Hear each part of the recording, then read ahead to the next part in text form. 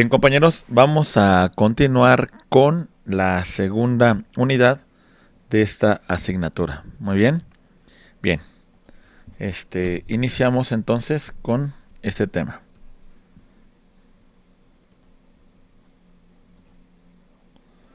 Muy bien. Segunda unidad. Cada unidad normalmente siempre acostumbro iniciarla con un pequeño video de reflexión. En este caso vamos a hablar de un, mensaje motivacional. Espero que lo disfruten compañeros.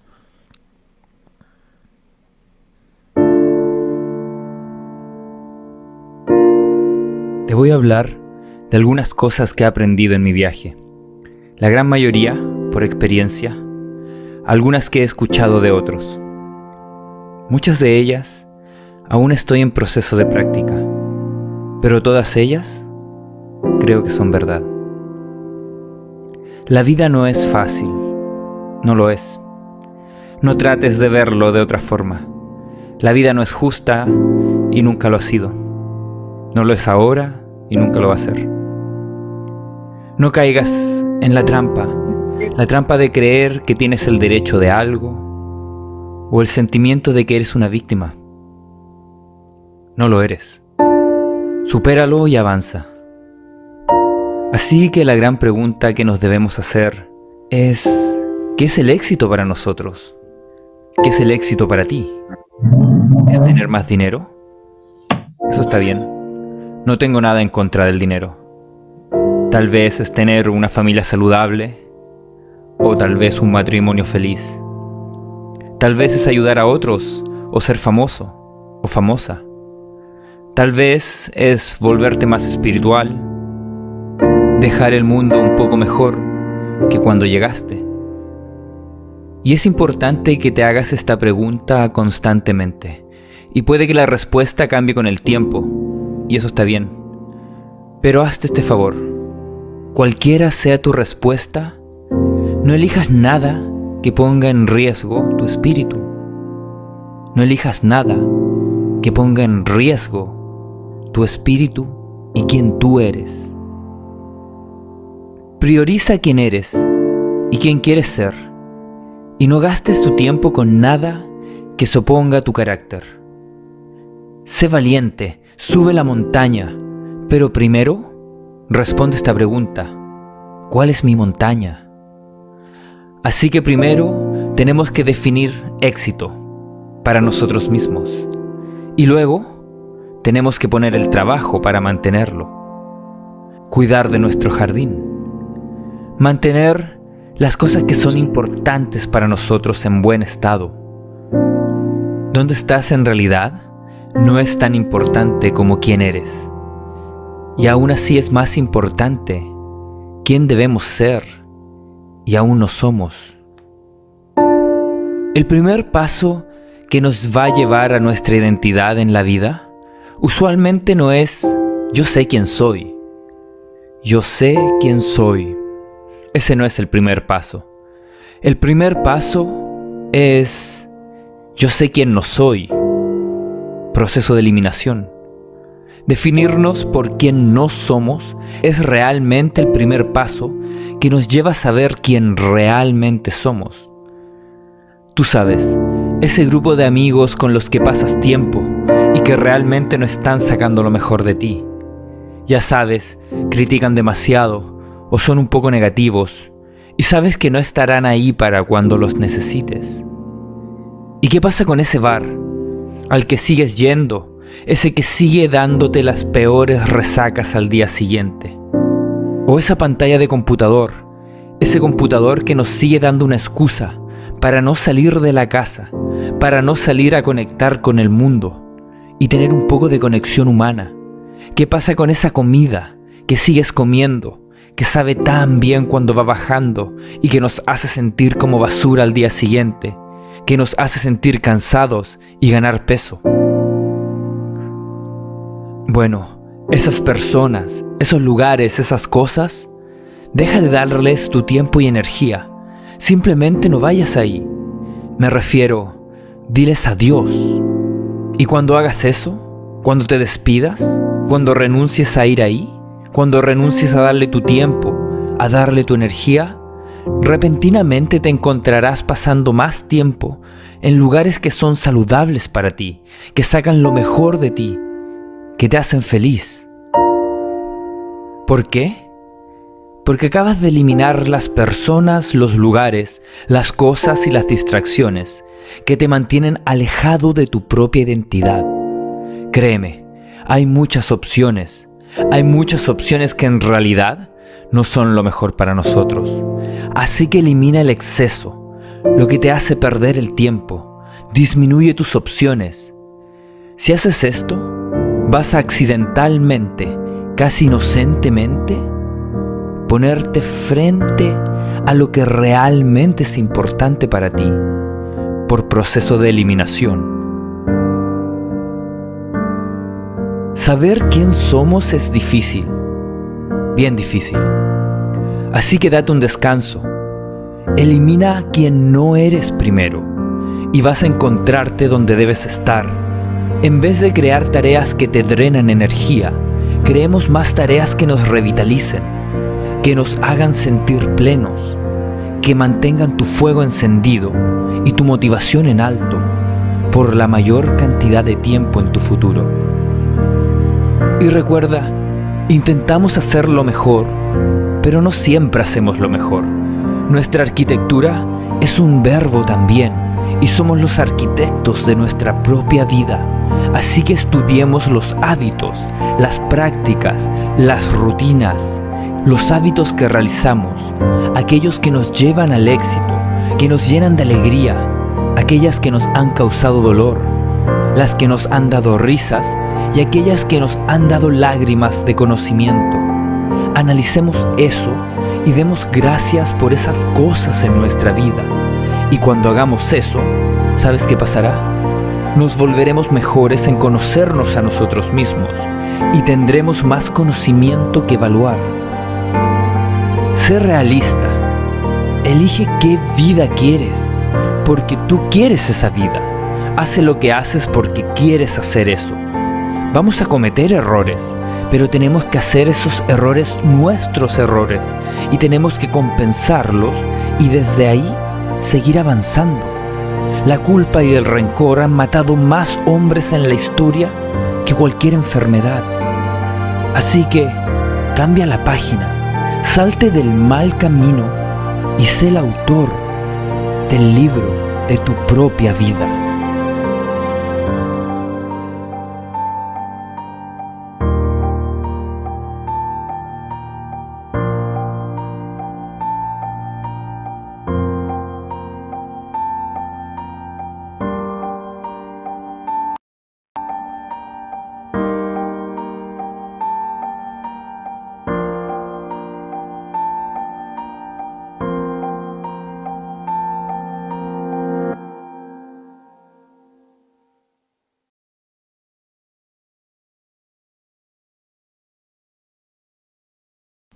Muy bien, vamos a continuar entonces. Este, ¿cómo se llama la reflexión? Me están preguntando.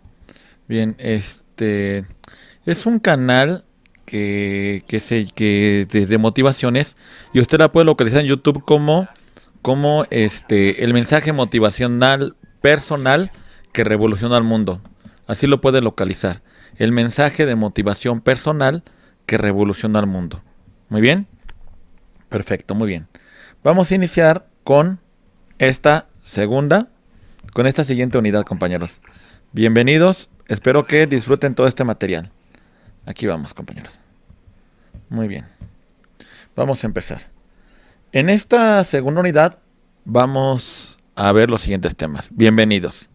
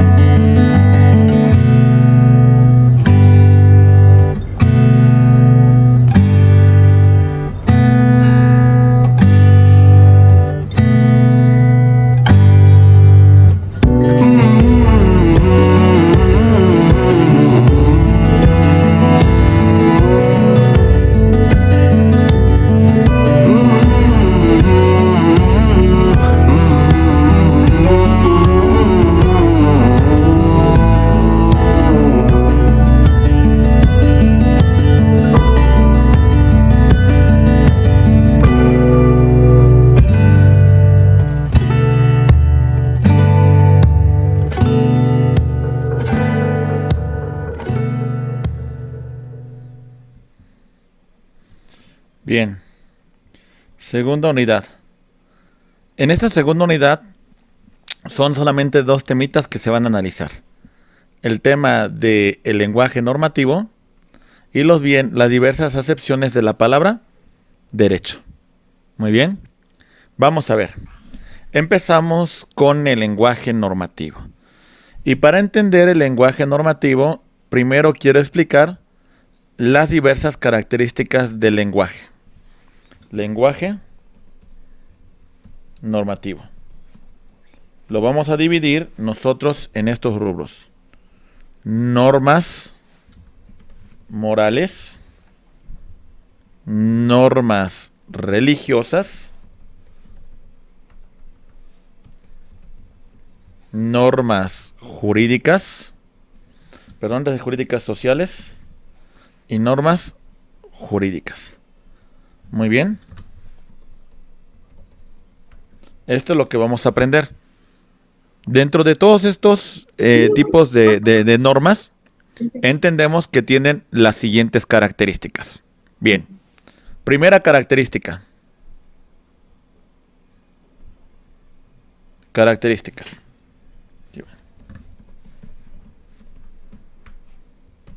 Características.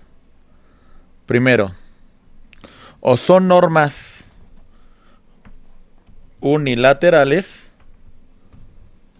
o son bilaterales. Primera norma. Unilateral. Muy bien. Tiene que ver con que para que ésta se materialice no requiere ninguna otra voluntad más que un solo individuo.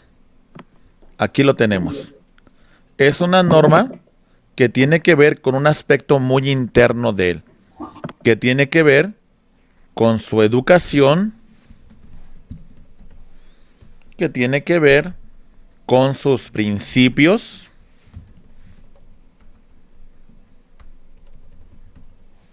que tiene que ver con sus valores, que tiene que ver con el sometimiento de esta persona a la ley. Muy bien no hay ninguna otra voluntad que se manifieste. Muy bien. En las normas con característica bilateral, no basta con la intervención de un solo sujeto. Requerimos la intervención de dos o más sujetos. Dos o más sujetos que intervienen en la norma. Muy bien. Ok, para que se pueda materializar. Entiéndase eso, para que se pueda materializar requerimos dos o más sujetos. Les pongo un ejemplo, por favor. A ver, me dicen ustedes, esta persona pretende celebrar un contrato, ahí va. Esta persona pretende celebrar un contrato consigo mismo. ¿Esto es posible? No, ¿verdad? Necesita la interacción con otro sujeto. Si no, no va a haber relación de derecho. ¿Ok? Muy bien. ¿Puedo contraer matrimonio conmigo mismo? ¿Verdad que no? No, necesitamos una interacción con otro sujeto. Por eso es muy importante que entonces ustedes me distingan entre las normas unilaterales y las bilaterales. Muy bien. Segunda clasificación. Normas internas y normas externas. Las normas internas no necesita que las mismas se materialicen. Basta con que hayan pasado por la cabeza del sujeto para que se produzca una consecuencia. Basta que se haya pensado. Muy bien. Ahorita vamos a llegar un poco más adelante para que me entiendan cómo funcionan las normas internas. Y las normas externas, para que produzcan consecuencia, no basta con que se queden aquí. Tienen que llevarse a cabo. Tienen que exteriorizarse. ¿Se entiende, compañeros? Solamente se quedó aquí en mi cabeza cometer un delito. ¿Me pueden castigar por eso, compañeros? No, ¿verdad? Pero ya lo llevo a cabo. Llevo actos tendientes a consumar un delito. Entonces, ahora sí, hay una consecuencia. Normas externas. Bien. Siguiente clasificación. Normas que vamos a llamar incoercibles y normas coercibles. Bien. Normas incoercibles. Su inobservancia no tiene sanción. No contemplan un castigo. No contemplan una consecuencia. A lo más que me puede pasar en normas incoercibles es de que internamente yo tenga un remordimiento. Hasta ahí va a quedar mi punto. Muy bien. Y vean el siguiente. Normas coercibles. Si yo infrinjo la norma, esta norma sí tiene una sanción. Muy bien. Si yo infrinjo la norma, hay una consecuencia. ¿Se entiende, abogados? Muy bien, muy bien. Siguiente. Normas autónomas y normas heterónomas. Muy bien. Atención.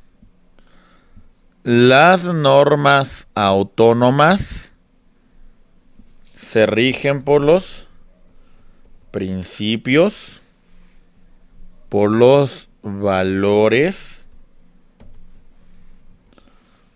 por la Indiosicracia.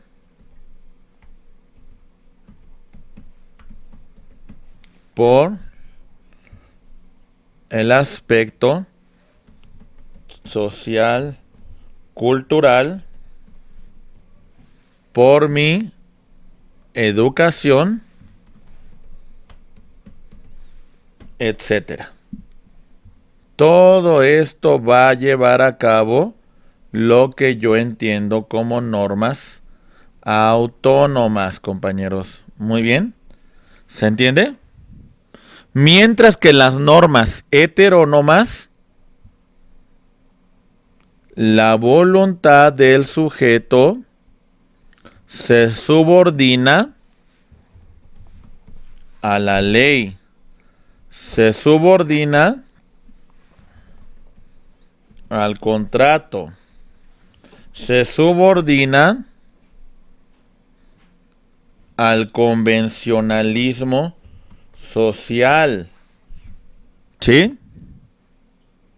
Se subordina a un libro religioso. Ahí se encuentra subordinada nuestra conducta. Esto lo explico, compañeros, porque no podemos entender el tema si no conocemos de estos puntos, de estas características de las normas. Muy bien. Idiosincrasia, perdón, idiosincrasia, que le puse idiosincrasia, sí, perdón. Muy bien. Perfecto. Me hacen algunas preguntas. Las vamos a contestar de una vez.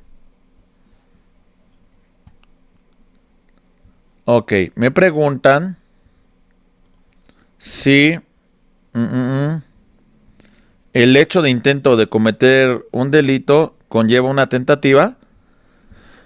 Sí, pero sí llevo actos materiales, ¿eh? o sea, sí materializo mi conducta. Si yo lo pensé pero nunca lo ejecuté, entonces no hay responsabilidad. Pero si yo ya lo llevo a cabo, si yo ya a lo mejor por alguna causa no se comete el delito, pero yo sí lo materialicé, entonces, sí, compañeros. Muy bien. Perfecto. Este... Mm, dicen que si la CNDH no es coercible, solo emite recomendaciones. Bueno, emite recomendaciones, pero sí las autoridades tratan de seguirlas. Sí, no, bueno, no es idiosincrasia, es idiosincrasia, compañeros, que tiene que ver con las ideas, con la cuestión de, cómo nos educaron. ¿La Biblia es heteronoma? Sí, porque a final de cuentas es un libro que regula conductas. Ay, perdón. Susana Castillo, ok, no lo quito tan rápido, perdón, discúlpeme, al otro no lo, no lo voy a quitar tan rápido mis apuntes, ¿vale? Muy bien. Ahí va. Vamos a continuar entonces. Vamos a complementar esto normas morales. Compañeros, provienen de nuestro interior y que nos ayudan a tomar decisiones entre el bien y el mal. Estos aspectos de estas decisiones que se toman tiene que ver con lo que en derecho se conoce como el libre albedrío. ¿Sí? Todos tomamos nuestras decisiones, sean buenas o sean malas, pero cada uno toma sus decisiones y asume sus consecuencias. Las normas morales nos ayudan a tomar esa decisión. Las normas morales se van a encontrar en un aspecto unilateral del sujeto. Ni siquiera se necesita la interacción con otro sujeto para que esto ocurra. ¿Sí, compañeros? Son normas que son internas porque basta que se queden aquí. No requiero más. Con que se quede aquí, yo ya puedo fallar a mis valores, a mi educación, a mis principios, a la forma en que me educaron mis, padres, a las costumbres de mi comunidad. ¿Se entiende? Muy bien. Son incoercibles porque no me pueden sancionar por infringir una norma moral. No puedo ser objeto de, de una sanción, de un castigo la mayor consecuencia va a ser conmigo mismo. Y entonces yo tendría un remordimiento. ¿Sí? Muy bien. Son autónomas porque la conducta del sujeto se tiene que ver con el tema de la educación, de la cultura, de los principios, de eh, la educación, de, de las costumbres, etc. Muy bien. A eso se subordina la conducta. Por eso, lo que puede ser moral para mí, a lo mejor para Abril no lo es. Lo que es moral para Getsemani, a lo mejor para Omar no lo es.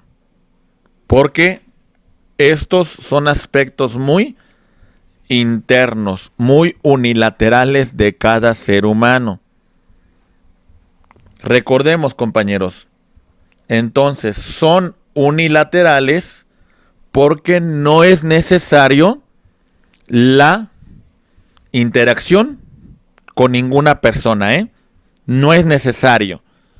Son internas porque ni siquiera tienen que materializarse. Basta con que se queden acá. Son incoercibles porque no tienen sanción. La consecuencia podrá ser el remordimiento.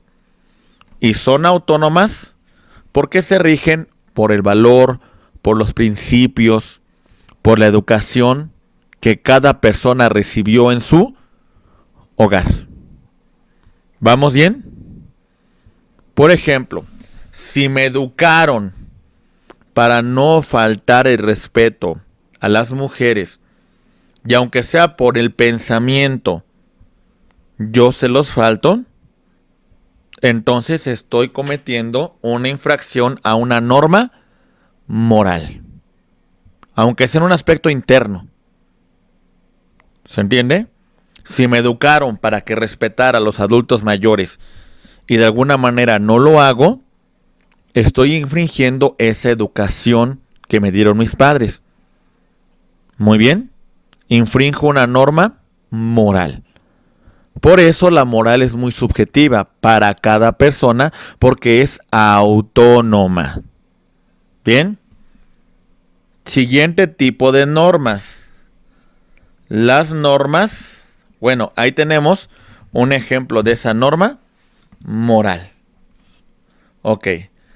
Normas religiosas. Proviene de la práctica religiosa de la divinidad proviene de la concepción que cada uno de nosotros tenga acerca de Dios. Muy bien. Esto depende mucho, pues de alguna manera, la religión que cada uno de nosotros profesemos. Porque no es lo mismo la concepción de Dios que tiene un musulmán a un cristiano, un judío a un musulmán a un cristiano, o un budista a un musulmán. Cada quien tiene una concepción distinta de Dios. E inclusive dentro del propio cristianismo tenemos distintas versiones o distinta visión sobre Dios. Una distinta explicación.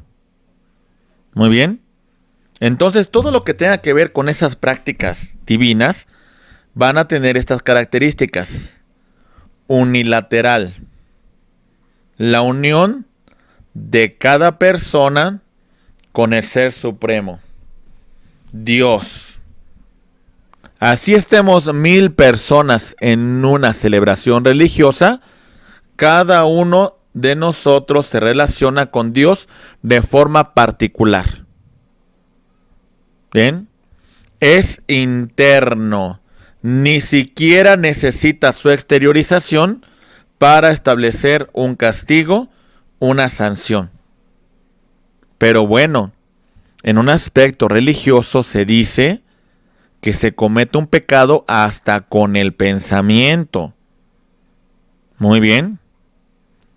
No hay sanción entre comillas no hay consecuencia. Pero pregunten ustedes.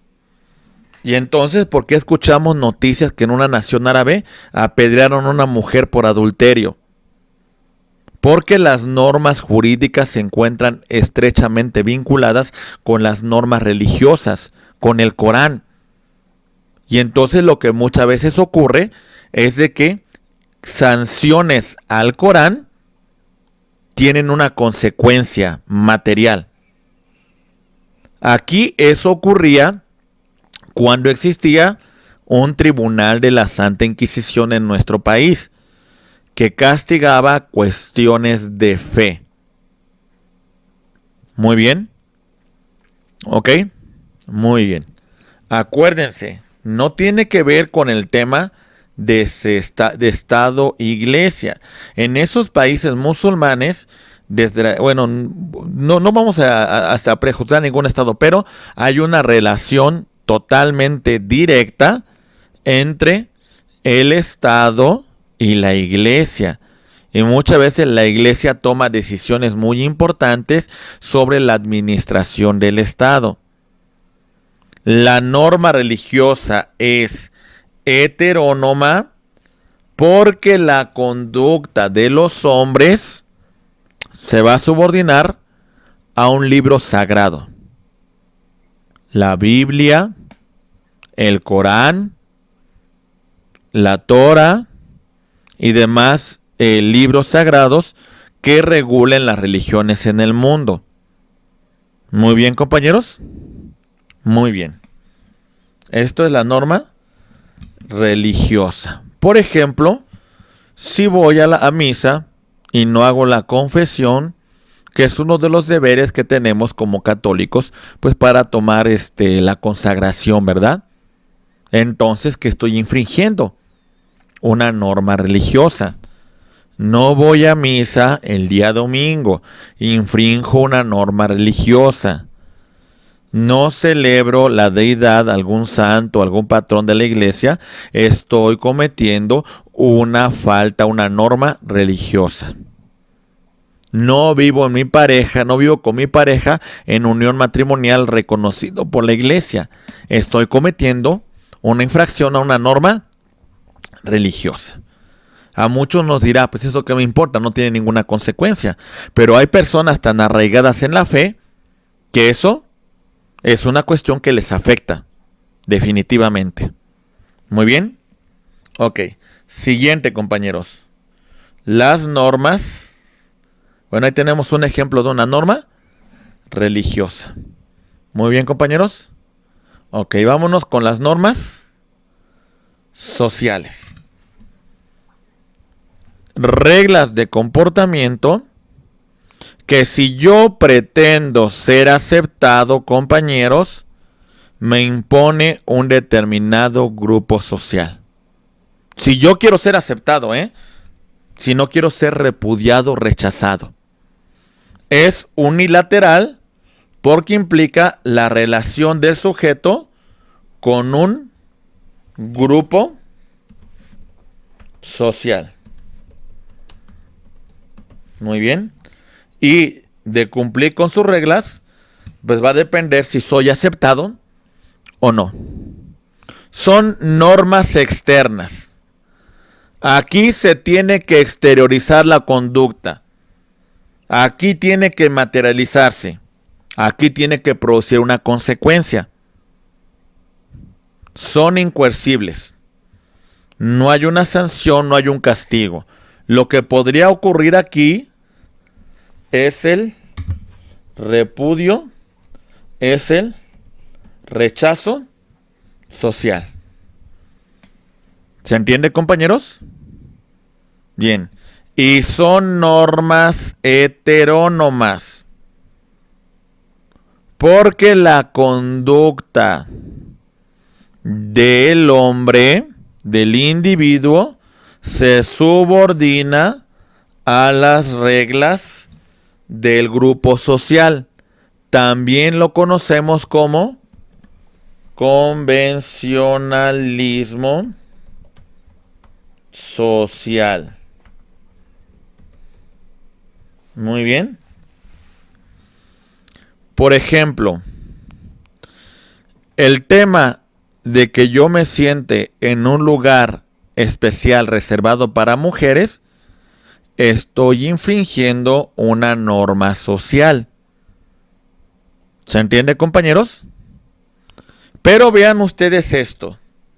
A veces no todo es claro, no todo es tan oscuro. Vean esto, por favor. Hay ocasiones que la conducta, que la norma, nace como una norma social pero posteriormente se reglamenta y esta norma social se convirtió en una norma jurídica. Muy bien. A ver, pongamos el ejemplo. Al principio, imaginen esto, al principio en el Metrobús de la Ciudad de México se establecía asientos especiales para las mujeres, pero quedaba más a la voluntad de los usuarios respetarlo. ¿Sí? Si los usuarios se pasaban para acá, pues muchas veces no pasaba nada. Se quedaba en una mera norma social. ¿Sí? Ahora se supone que hay un reglamento sobre este transporte que establece que este lugar es reservado para las mujeres y que en todo caso los que no respeten esta regla van a ser objetos de una sanción, de un castigo. Esa norma social evolucionó a una norma jurídica. ¿Se entiende? Muy bien. Vean el siguiente caso, por favor.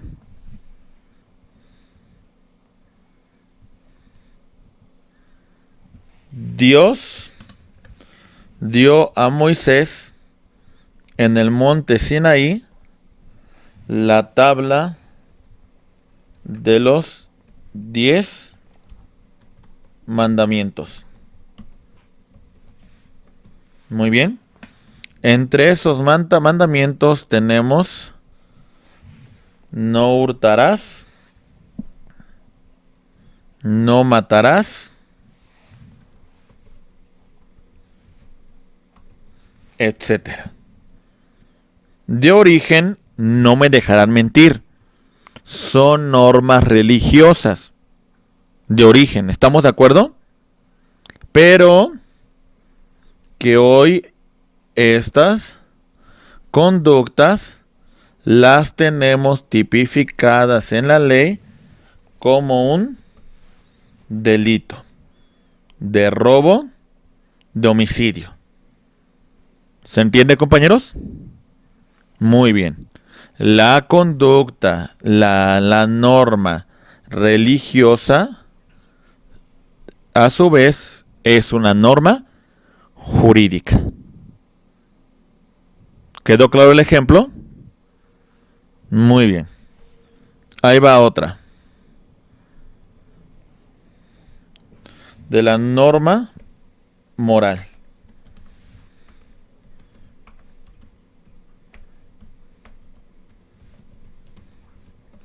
Imaginen ustedes, compañeros, que a este sujeto lo educaron para siempre decir la verdad y comportarse de forma responsable, con valores, con principios frente a terceros. Bien. Le pasa por la mente, pues, hacer algunas fechorías que son contrarias a la educación y a los principios que le dieron. ¿Qué norma está infringiendo? Una norma moral. Muy bien. Pero ya lo materializa y le falta respeto a personas de la tercera edad, le falta respeto a las mujeres. Es una persona pues que no tiene una buena conducta frente a terceros esta norma ya se está materializando a una norma social. ¿Se entiende, compañeros? Muy bien, muy bien. El ejemplo de una norma social lo podemos ver acá. Ahí está. Este joven que no le cede a esta señora de la tercera edad el asiento cuando así lo necesita, ¿verdad? Muy bien. Ok. Muy bien.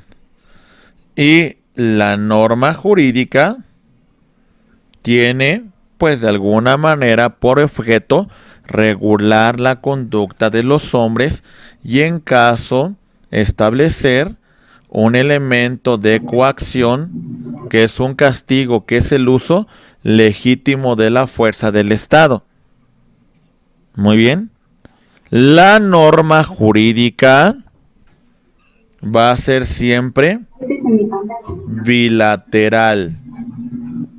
¿Por qué? Porque no pudiese regular un aspecto interno del hombre. Es decir, a ver, este sujeto, imaginen con muchísima imaginación, con mucha imaginación, compañeros, que esto es una isla desierta. Y aquí tenemos completamente aislado a esta persona. La pregunta es, ¿requiere de la norma jurídica? Pues no, ¿verdad? No tiene la interacción con ningún otro sujeto. ¿Para qué quiere las leyes? ¿Se entiende? Pero cuando este sujeto ya interactúa con otro, entonces ahora sí es importante la existencia de la norma jurídica para establecer cuáles son sus derechos y sus obligaciones. Bien, compañeros, ¿se entiende? Ok. Por eso las normas jurídicas son bilaterales, porque requieren la interacción de estos sujetos. Bien. Normas jurídicas. Vean por qué decimos que son bilaterales. Ponemos unos ejemplos. Primero,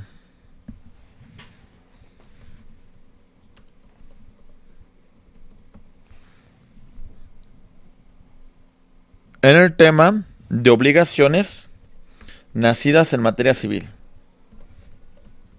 Tenemos una persona llamada acreedor y otra persona llamada deudor. ¿Se entiende, compañeros? Acreedor y deudor. En materia fiscal, tenemos al Estado como fisco y tenemos al particular como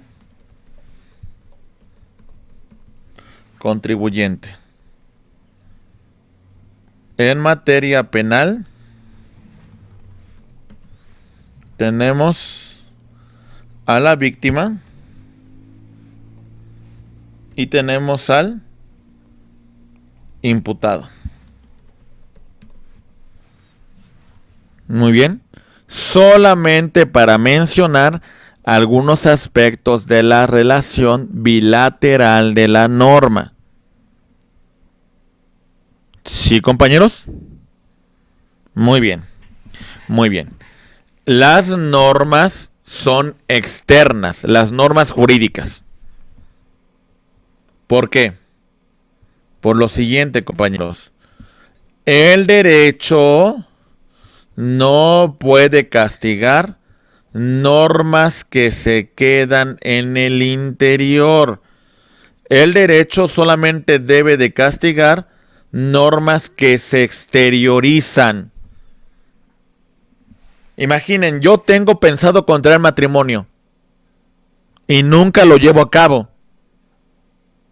¿Habrá una consecuencia de derecho? No, porque nunca lo llevé a cabo, porque nunca lo materialicé. Si yo ya celebro matrimonio, entonces tengo derechos, pero también tengo obligaciones. ¿Sí? La norma jurídica es coercible. Se dispone del uso de la fuerza pública para hacerse cumplir. Necesariamente, compañeros. La fuerza pública. Ese elemento del uso legítimo de la fuerza se llama la coacción.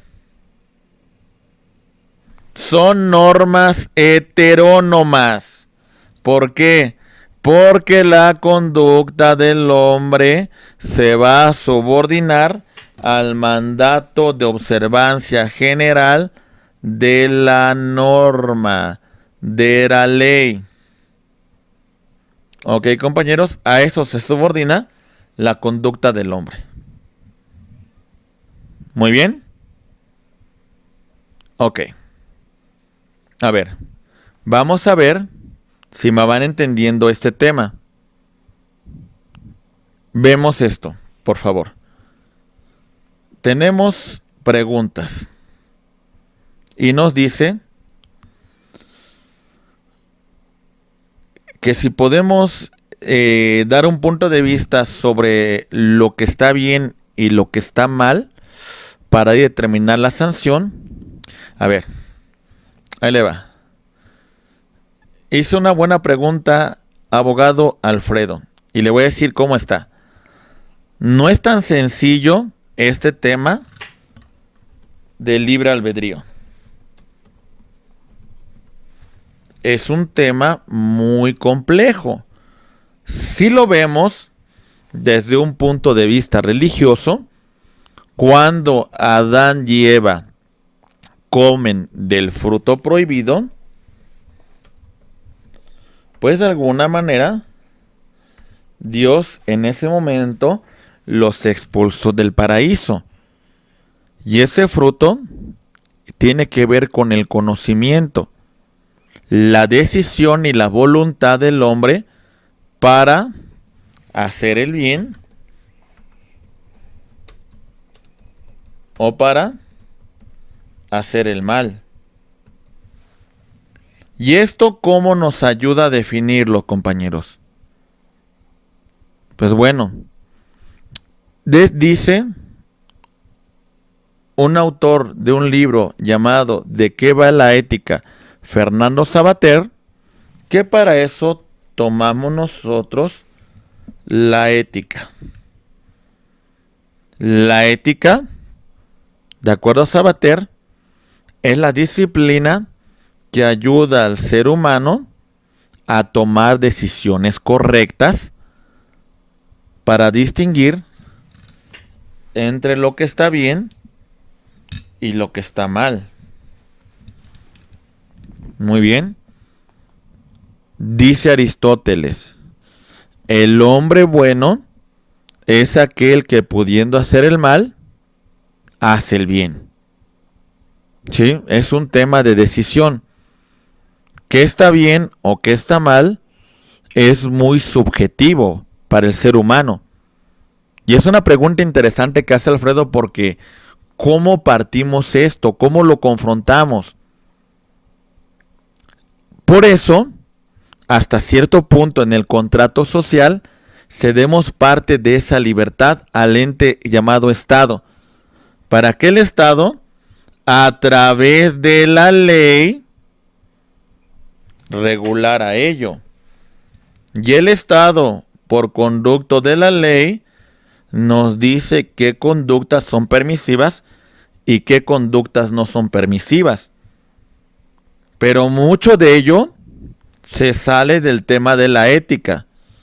Y lo que determina si la conducta está bien o, el, o mal, tiene que ver con una voluntad del propio Estado. Tiene que ver con una política criminal. ¿Se entiende, compañeros? Muy bien. El bien y el mal, como ustedes lo han referido en sus comentarios, tiene que ver con el aspecto moral. Es como siempre ha sido una discusión eterna en muchas religiones, compañeros. En el tema cristiano, la existencia del diablo, la existencia del demonio, que es la contraparte, que es el que está en el mundo y trata de infligir el mal. Para los budistas el tema del yin y el yang, ¿sí? Esas cuestiones que se encuentran en la humanidad. Pero bueno, al final de cuentas, es muy difícil decir, mm, eh, dar, dar una, una contestación única entre estas cuestiones. Y es complejo, compañeros, es muy complejo. Porque la norma jurídica es tajante. ¿eh? La ley no lo dice.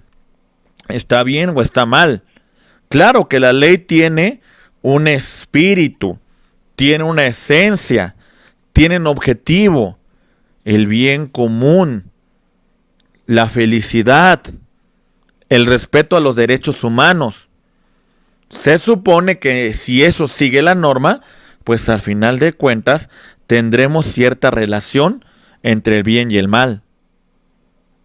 Son cuestiones que cambian, compañeros. Muy bien. Y entonces veamos este ejemplo. Aquí va.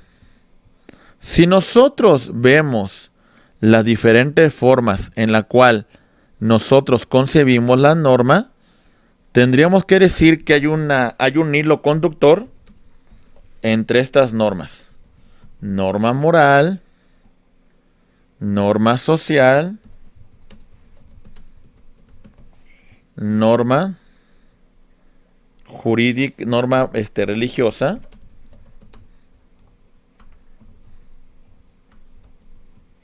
y norma jurídica. ¿Cuál es el punto en común que tienen todas estas normas? ¿Cuál es el punto en común, compañeros? ¿Cuál es el objetivo final de todas estas normas? Porque todas llegan a un punto en común. Todas buscan un objetivo en particular.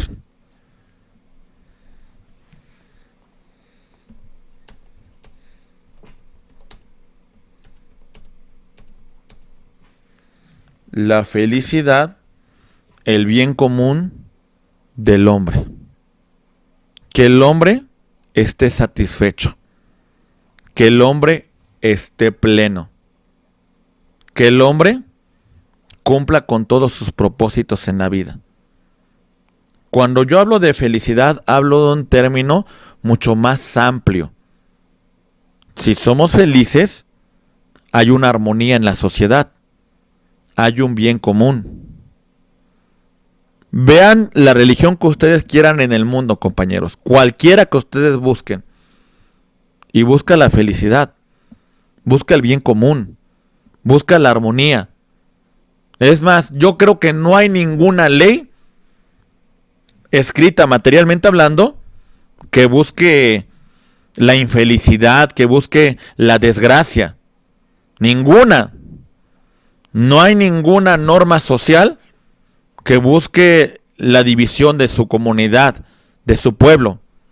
No la hay, compañeros. Porque todas llegan a ese punto.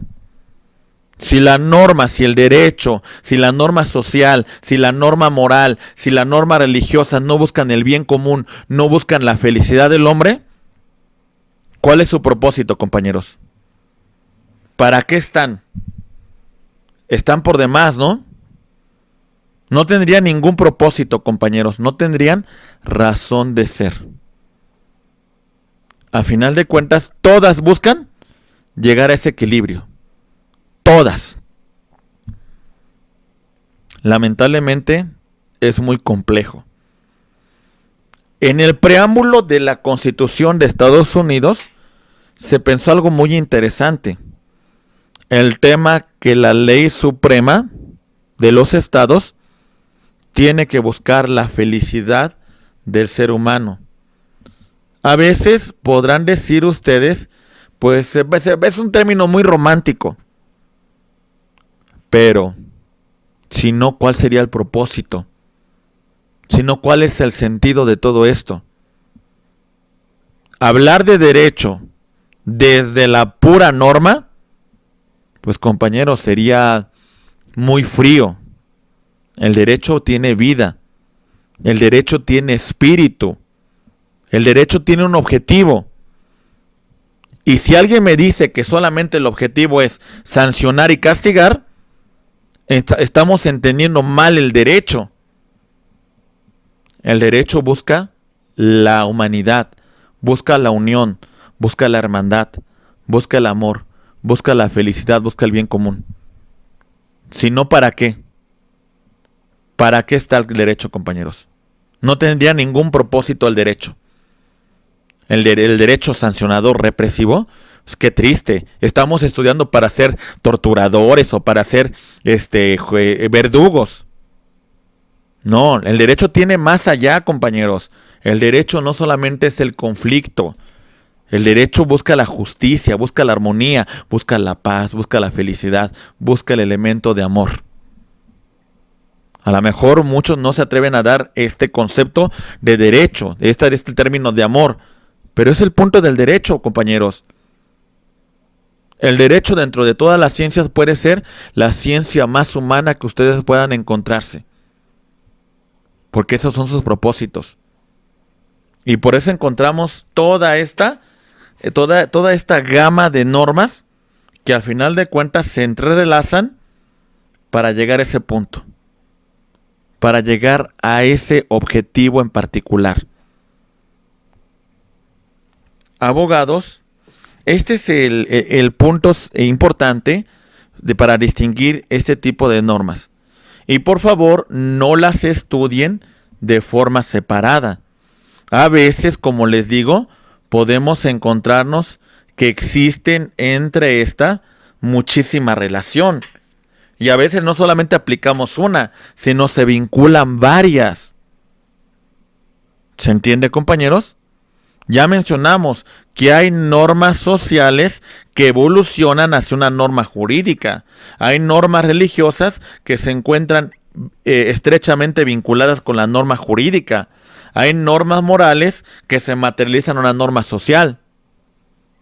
Todo esto es el camino, compañeros. Todo esto es el punto central que nosotros debemos entender. Y como abogados tenemos la obligación de distinguir entre la norma moral, la norma social, la norma religiosa y la norma jurídica. Esto es importante. Muy bien. Perfecto, compañeros. Pues respondo algunas preguntas que ustedes están señalándose en su chat, ya para que este, podamos tomar el receso de los alimentos. Muy bien, compañeros. Muy bien. Ok. Veo varios comentarios. Eh, nos quedamos primero con el de... Mm, bueno, muchos hacen ahí comentarios interesantes. Nos dice, eh, por ejemplo, los reglamentos serían ejemplos de normas sociales. Mm, sí, podría ser un ejemplo de una, norma social, estimada Blanca Italia, sí, una norma social importante para esa comunidad. Muy bien.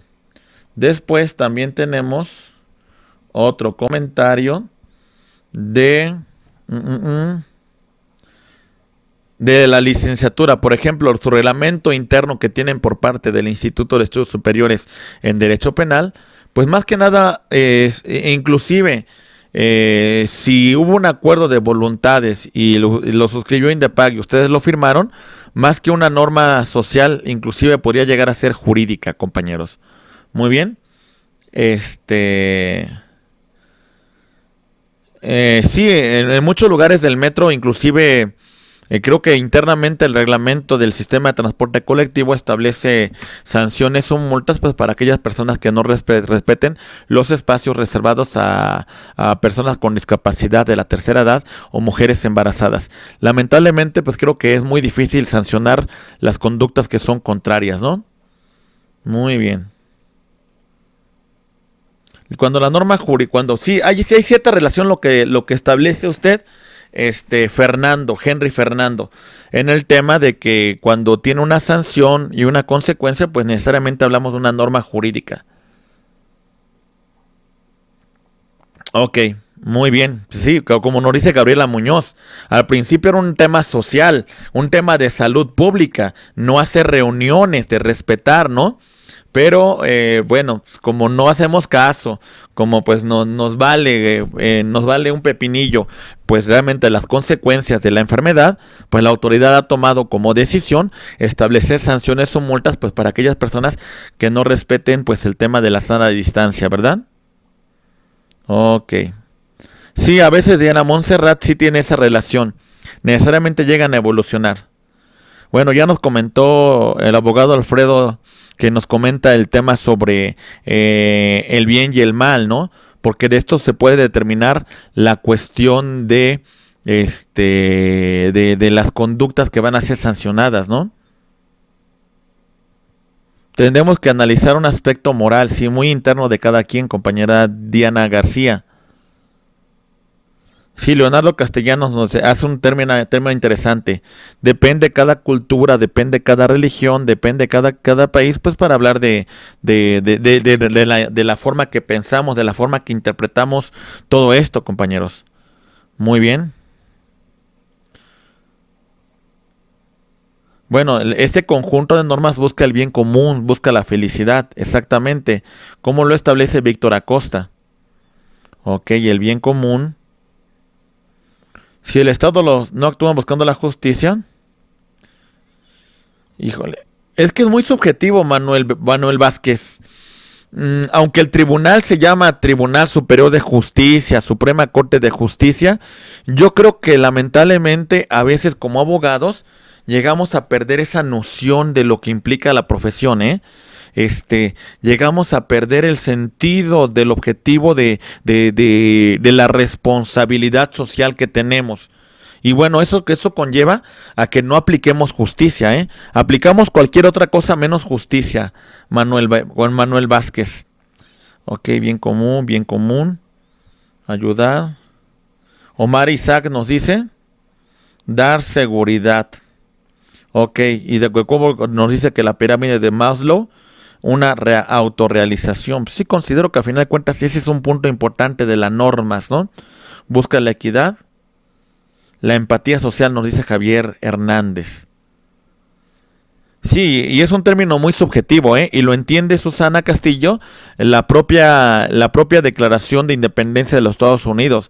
Es muy subjetivo el tema de la felicidad, porque hay personas que teniendo todo no son felices y personas que no teniendo nada son completamente felices. Entonces, tiene que ver mucho con, pues, con la autorrealización que nos menciona también Omar, ¿no? Sentirnos satisfechos como seres humanos, ¿no?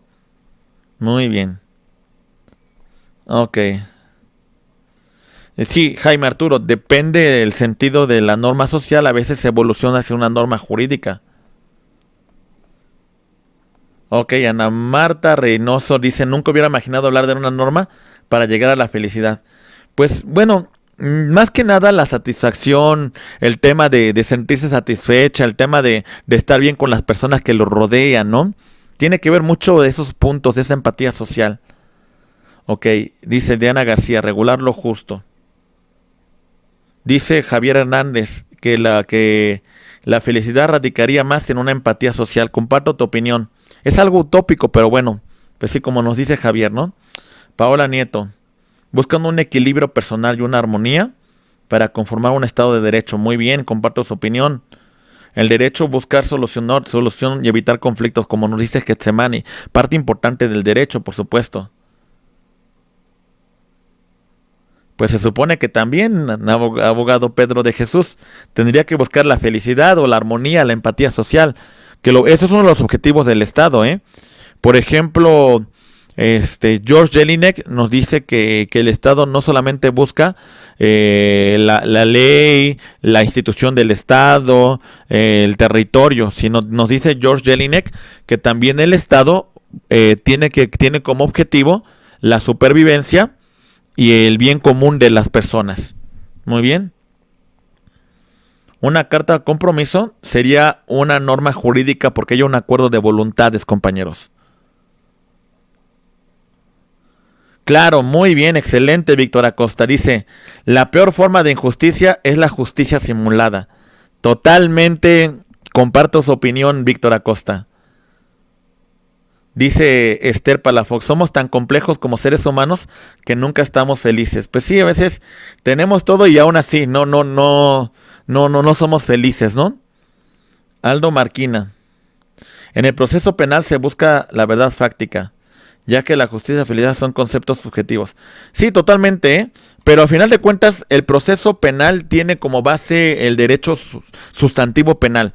El derecho sustantivo penal lo que busca es evitar ciertas conductas, evitar que esas conductas lesionen bienes jurídicos tutelados. Ya el proceso penal sí estoy de acuerdo totalmente que es fáctico, porque se basa en el hecho, en la evidencia, se basa en la prueba que se debe demostrar.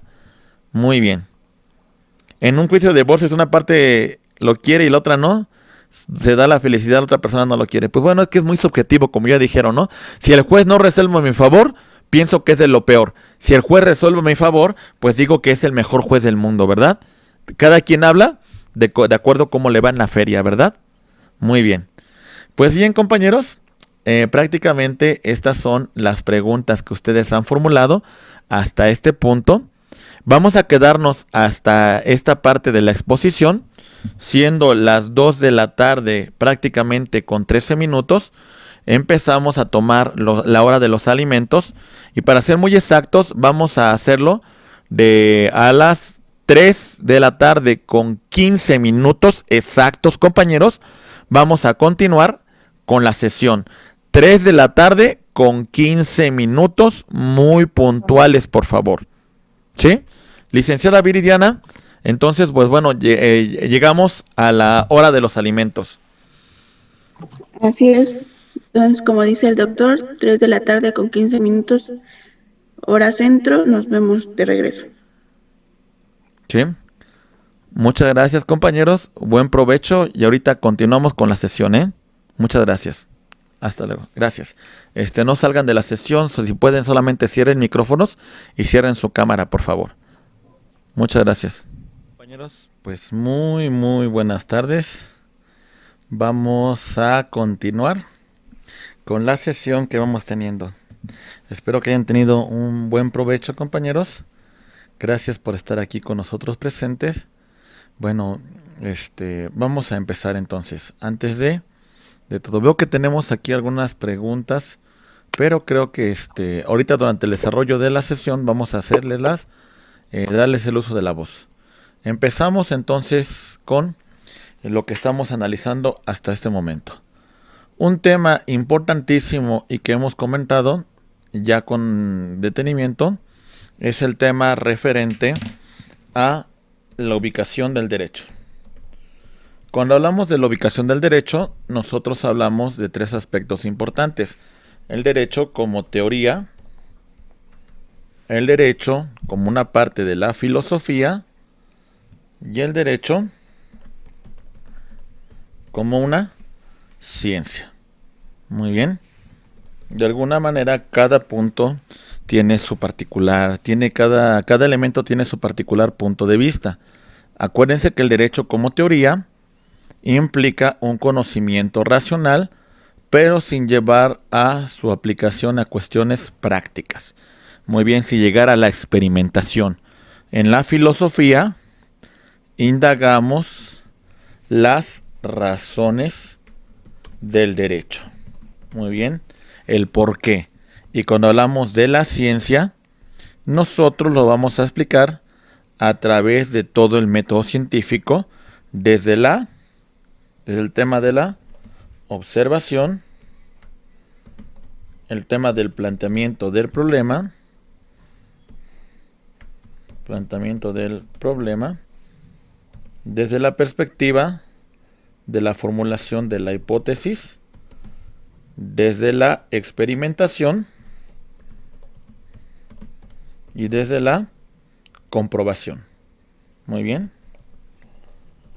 Muy bien. Esto por lo que respecta a la ubicación del derecho. También dentro de todo esto hicimos un análisis muy importante desde la teoría tridimensional del derecho, sobre los elementos que lo van a integrar, los elementos del derecho. Y en estos elementos del derecho, nosotros mencionamos que hay tres. El, el hecho social, muy bien. El elemento normativo y el elemento de valor o axiológico del derecho.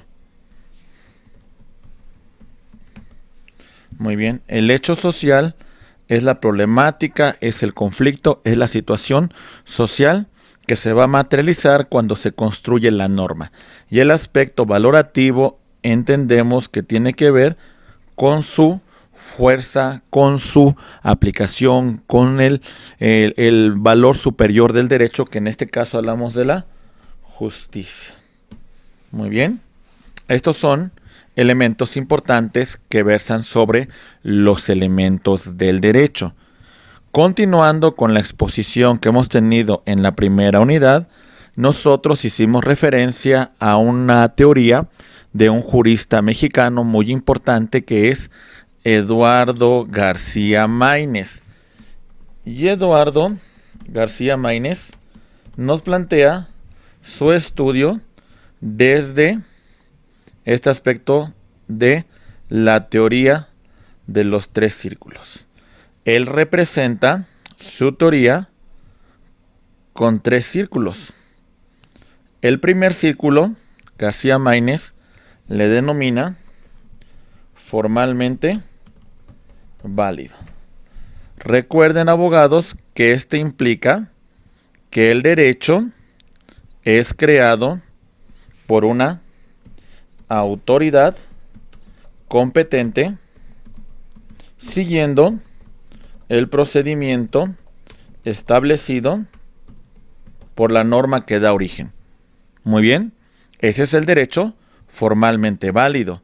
También hicimos referencia al derecho intrínsecamente válido. Y este punto nos enseña que la validez del derecho no lo da que éste sea, tenga como elemento su valor superior, la justicia. Ya hablamos del derecho positivo y eficaz cuando se aplica en un tiempo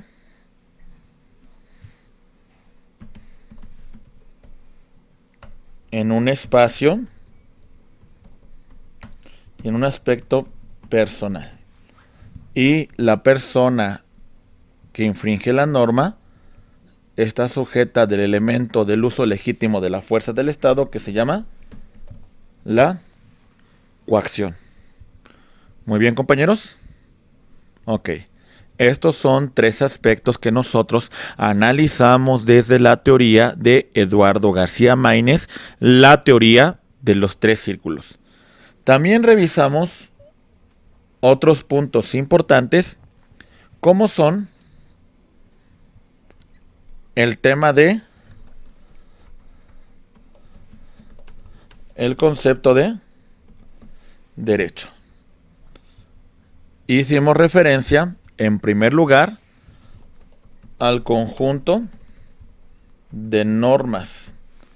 Recuerden que hablamos de la constitución y las normas que derivan de ella. Muy bien, estas normas son imperativas cuando lo que hacen es imponer una obligación y son atributivas cuando nos confieren un derecho. Muy bien. Entonces, esta es la primera alusión. Conjunto de normas imperativas y atributivas. Segundo elemento. Decimos que ese conjunto de normas regula la conducta externa del ser humano.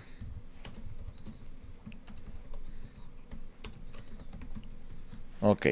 La conducta externa, la que se materializa, la que se manifiesta.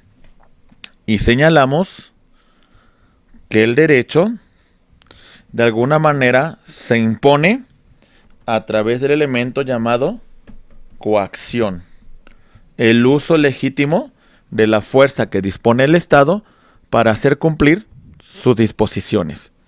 Muy bien. Estos son aspectos importantes del derecho. También hablamos de las distintas ramas que integran el derecho. Y en ese comentario nosotros hicimos la siguiente distinción. Pongan mucha atención compañeros. Ahí va.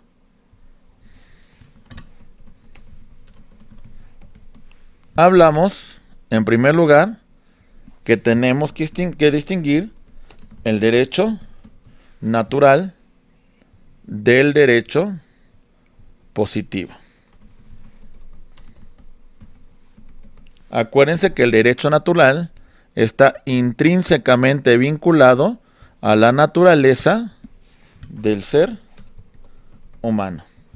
Mientras que el derecho positivo es un derecho que en primer lugar es escrito, que es un derecho que se aplica en el tiempo, en el espacio y en la persona. Muy bien. Además de que dispone del elemento de la coacción para hacer cumplir estas disposiciones. Muy bien. Ok, esto es lo primero que tenemos de distinguir. Y después nosotros hicimos un comentario sobre las distintas ramas que integran el derecho.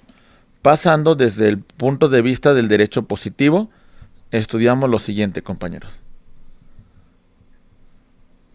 Derecho público.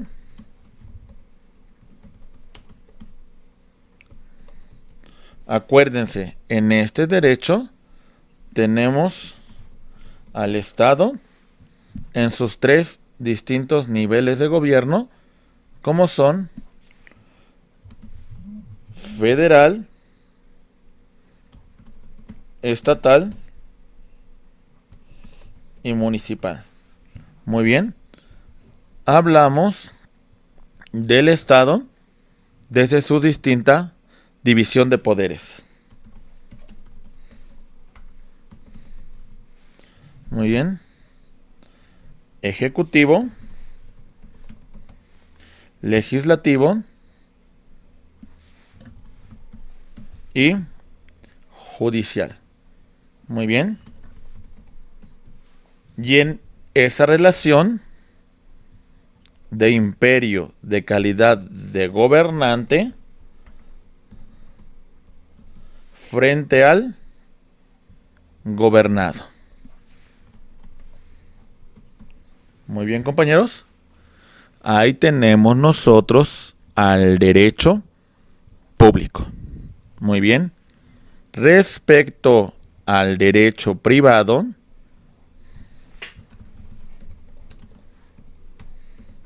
nosotros hicimos mención que se refiere a las relaciones entre particulares. Muy bien. Ok. En esas relaciones entre particulares impera un principio llamado autonomía de la voluntad. ¿Sí? Muy bien. Y que si el Estado actúa en esta relación de derecho privado, actúa como si fuera un particular no se encuentra en la, dentro de la investidura de gobernante. Actúa como un gobernado más. Muy bien, compañeros. Ok.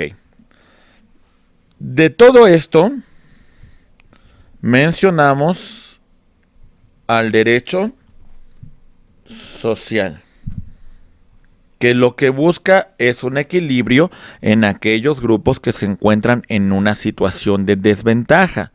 Recordemos que su antecedente lo vamos a encontrar directamente en la Constitución mexicana del 5 de febrero del año de 1917. Muy bien compañeros, ahí tenemos ese comentario. Muy bien. De todo esto, llegamos nosotros al estudio de nuestra segunda unidad, analizando el lenguaje normativo. Bien, voy a borrar. Ok. Dentro del lenguaje normativo, nosotros estudiamos que existen normas morales, normas religiosas, normas sociales y normas jurídicas. Muy bien. Las características de las normas morales mencionamos que son unilaterales porque tienen que ver con una relación con una sola persona. No interactúan. Dos, es una relación con uno mismo. Mencionamos que son normas de naturaleza interna. No requieren su exteriorización para que se produzca una consecuencia. Basta, basta con que queden en este aspecto interno. Son normas incoercibles. Que la sanción, el incumplimiento de estas normas puede ser el remordimiento. Muy bien.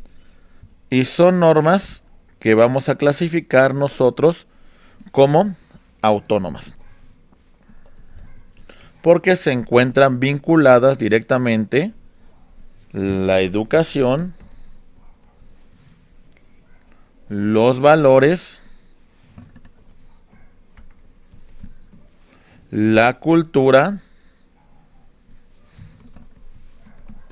la tradición. Muy bien, compañeros. Muy bien.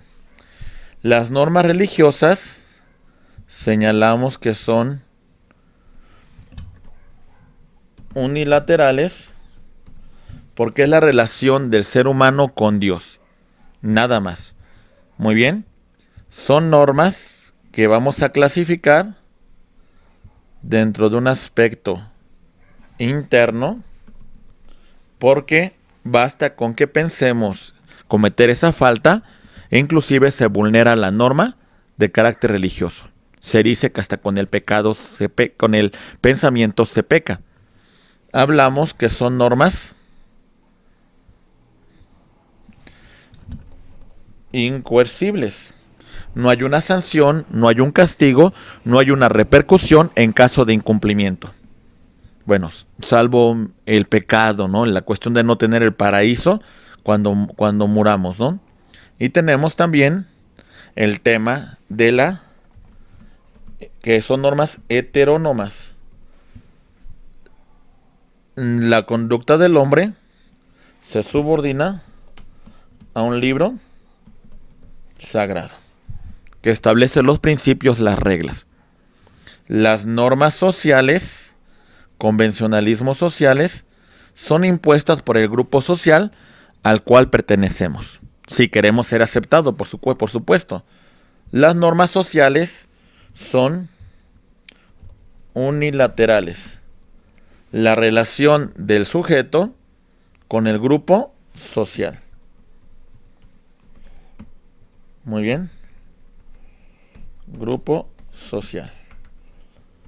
Mencionamos que las normas sociales también entran de lo, dentro de la categoría de, este, mencionamos que son eh, externas, porque necesariamente para que produzcan consecuencias tienen que exteriorizarse.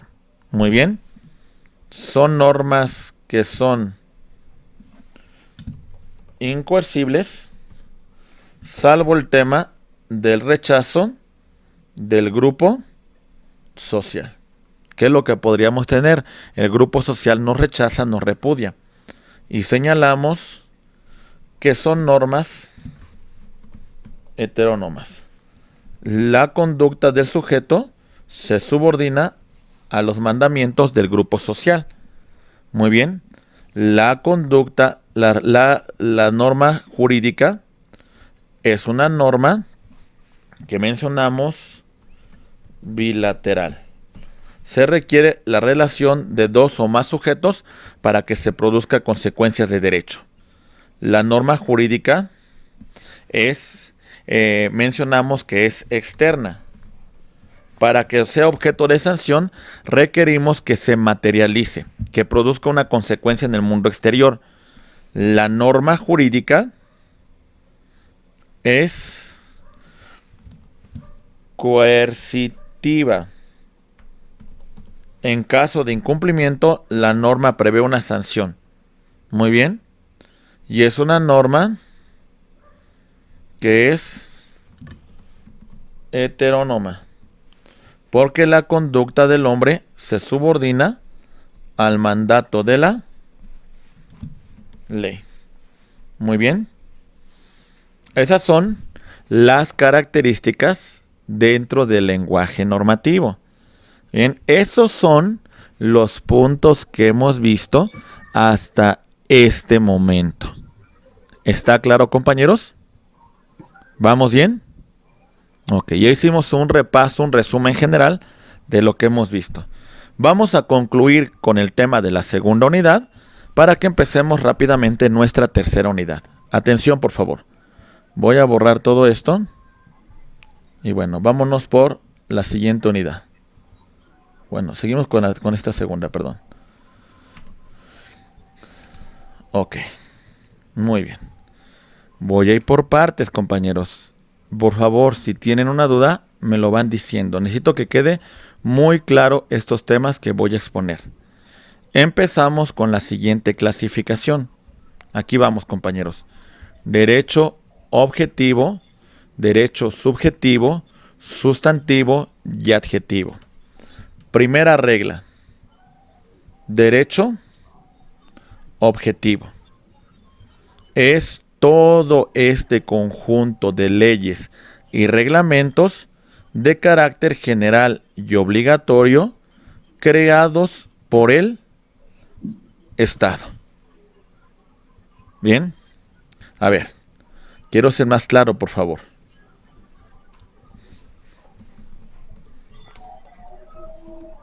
En primer lugar, destacamos que el derecho objetivo es un derecho tangible. ¿Sí? Lo podemos percibir con nuestros sentidos. Ahí está la ley. Es un derecho que es creado por una autoridad competente. El poder legislativo con la aprobación del poder ejecutivo y su publicación en el diario oficial de la federación. Muy bien, compañeros. Ok. ¿Qué más podemos destacar del derecho objetivo? Que el derecho objetivo es considerado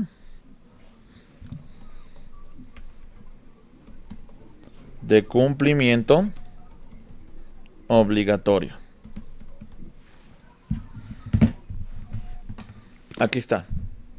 Este es derecho objetivo. Derecho legislado. Derecho creado por una autoridad competente.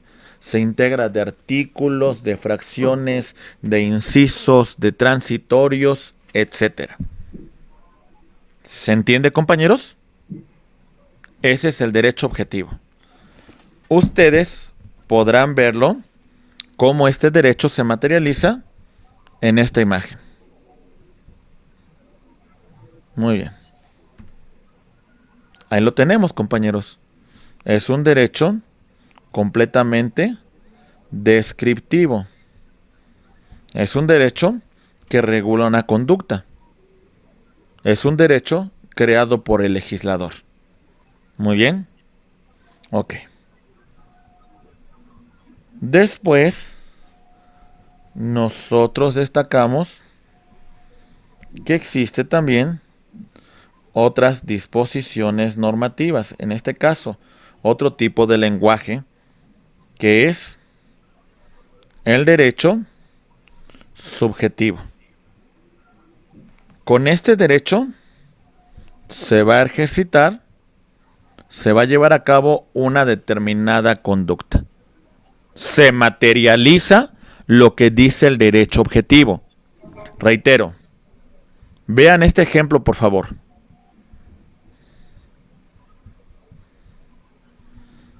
El artículo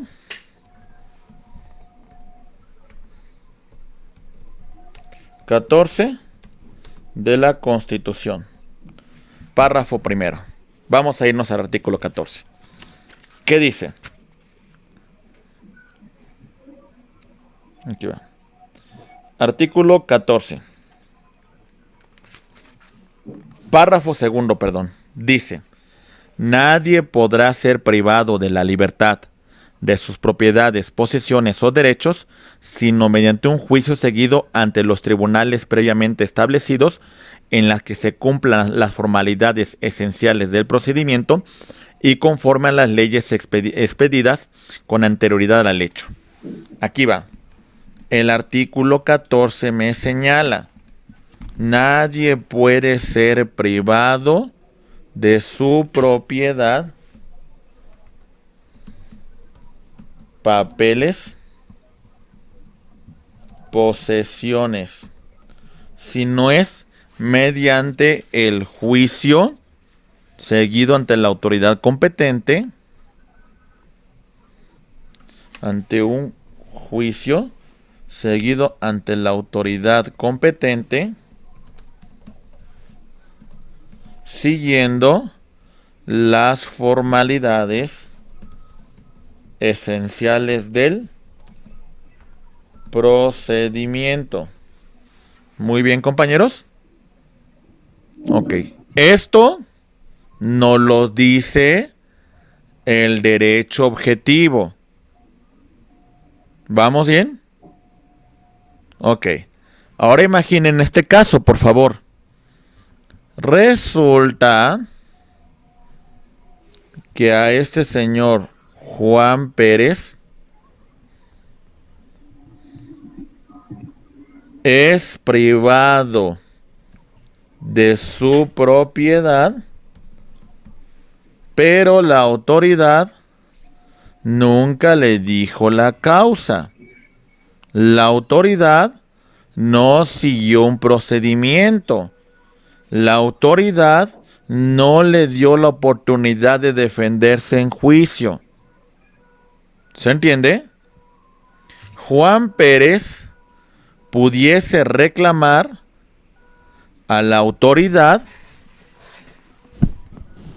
el incumplimiento del artículo 14, párrafo segundo de la Constitución, porque no se siguieron esas formalidades esenciales del procedimiento.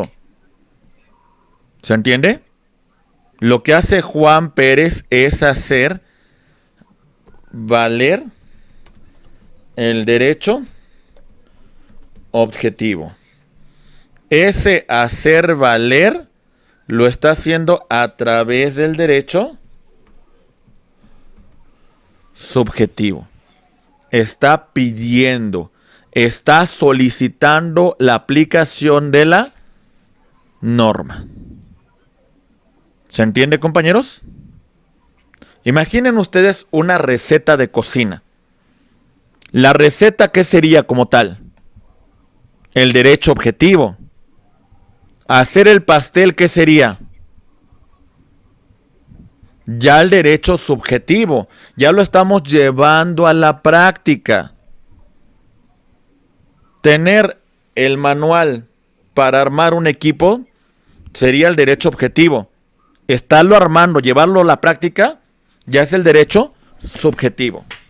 ¿Se entiende, compañeros? Muy bien. Entonces, aquí lo vemos. Vean la imagen que representa el derecho subjetivo. Ahí está.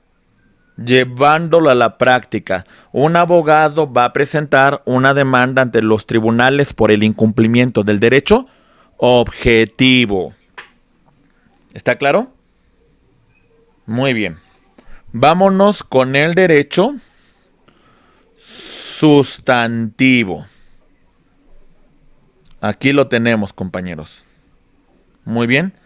Estas normas de derecho sustantivo van a contener una aplicación descriptiva de los derechos y las obligaciones de las personas. Muy bien. Entonces aquí vamos.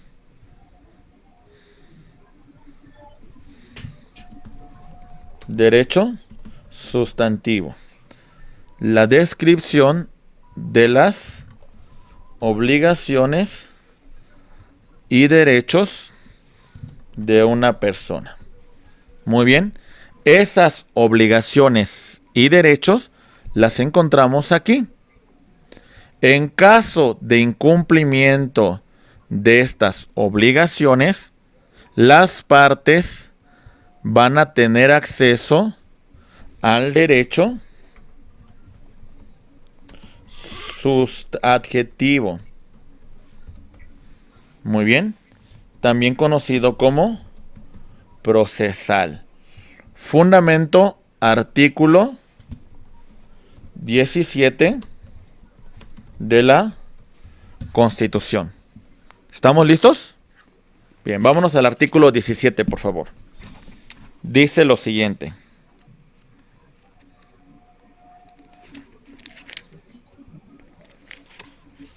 Ok.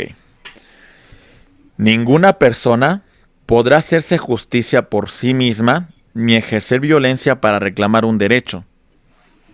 Aunque no cumplió con la obligación el sujeto, yo no puedo hacer justicia por sí mismo.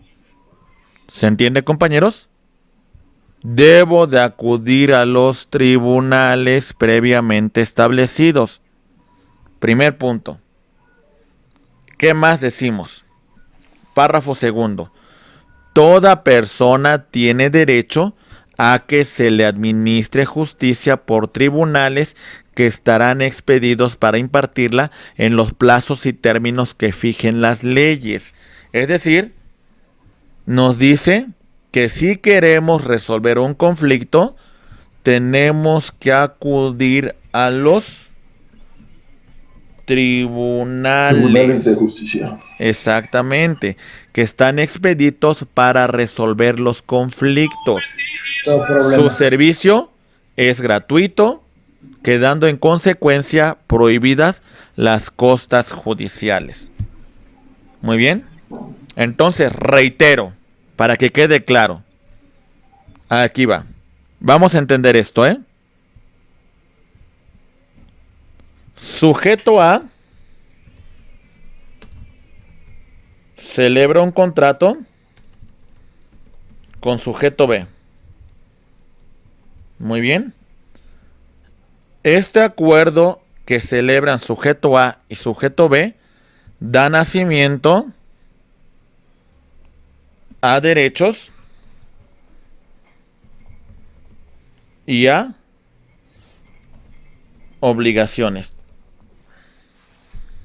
Sujeto B incumple con el contrato. Para que sujeto A le reclame a sujeto B el incumplimiento de su obligación, sujeto A va a presentar una demanda ante un órgano jurisdiccional.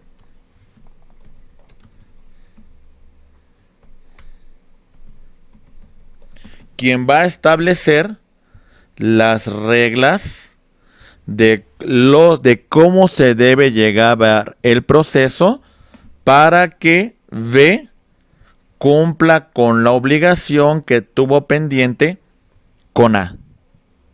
Muy bien. Vamos a acudir a los tribunales a solicitar que el órgano jurisdiccional imparta justicia. El órgano jurisdiccional lleva la batuta de todo un procedimiento desde la demanda hasta que se dicta una sentencia. Bien, compañeros. Desde la demanda hasta la sentencia. Tratando de solucionar el conflicto. Y de esta manera, cuando se dicta sentencia, se resuelve el conflicto. Muy bien. Perfecto. Muy bien. Entonces, si tendríamos que comentarlo de alguna manera, diríamos lo siguiente. El derecho subjetivo sería más o menos como, perdón, sustantivo sería como esto. Los derechos y las obligaciones que contempla la norma. Mientras que el derecho adjetivo, aquí lo tendríamos. Acudir a los tribunales para que el órgano jurisdiccional me dicte una sentencia. Muy bien, compañeros. Ok, lo vamos entendiendo. Muy bien. Por ejemplo, si yo quiero saber los derechos y obligaciones que, que, se tiene derivados del contrato de matrimonio, ¿dónde lo voy a encontrar? ¿Sustantivo o adjetivo? Sustantivo. Sustantivo, muy bien. Y si yo me quiero divorciar y quiero que estable, que quiero que me diga el procedimiento, la autoridad que debo de llevar para disolver el vínculo matrimonial, ¿qué sería? Adjetivo. Adjetivo. Muy bien, excelente. Por ejemplo, si en materia penal yo quisiera saber cuál conducta encuadra dentro de un delito, ¿cuál tendría que estudiar? Sustantivo, ¿no? Sustantivo. Y si yo quiero imputarle una responsabilidad e ir a los tribunales para que se le finque responsabilidad por la comisión de un delito? Adjetivo. Adjetivo. Excelente, excelente. Ahí está la noción, ¿eh? Derecho sustantivo y derecho adjetivo. Voy a poner algunos ejemplos, ¿eh? A ver, a continuación voy a hablar del Código Nacional de Procedimientos Penales. Muy bien. Así en particular. La primera noción que yo les tendría que decir que es un derecho objetivo. objetivo que emana de una autoridad competente, que de alguna manera es un derecho tangible, que lo podemos percibir con nuestros sentidos, que establece, pues de alguna manera, reglas de carácter general y de cumplimiento obligatorio que se deben de seguir. Muy bien. Por otra parte, también diría que es un derecho subjetivo. ¿Por qué? Porque esta norma contiene reglas que yo puedo solicitar a la autoridad de cumplimiento obligatorio. Muy bien. Donde no entraría la clasificación es en el tema de la parte descriptiva de los derechos y las obligaciones. Aquí ese tema no entraría, pero sí entraría el tema de derecho adjetivo. ¿Sale? Porque nos va a establecer las reglas que como parte debemos de seguir para llevar esta disposición ante los tribunales. Muy bien, compañeros. Muy bien. Solamente por mencionar un ejemplo. Bien. Ok. Siguiente clasificación de las acepciones de la palabra derecho. Aquí va.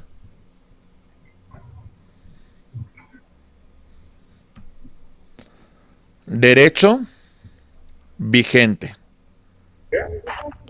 Este derecho se va a aplicar en un lugar y en un tiempo determinado. Muy bien. Pero, escuchen esto. se considera. No significa que sea efectivo, solamente se considera. Vean lo que dice el derecho positivo. Normas que efectivamente se aplican.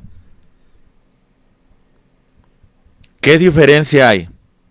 Que puede que tengamos un derecho vigente, pero que materialmente no sea positivo. ¿Se entiende? ¿Por qué? Porque la norma no tiene ninguna consecuencia, porque su incumplimiento no genera absolutamente nada.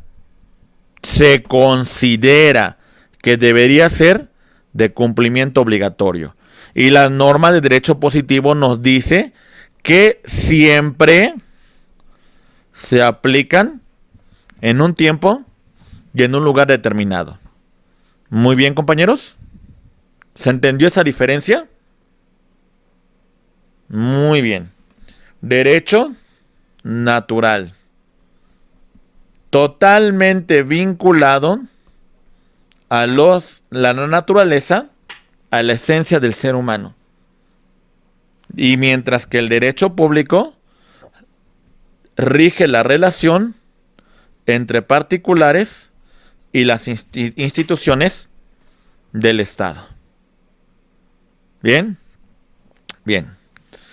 Con esto, compañeros, terminamos nosotros la segunda unidad y estos son los temas que nosotros analizamos.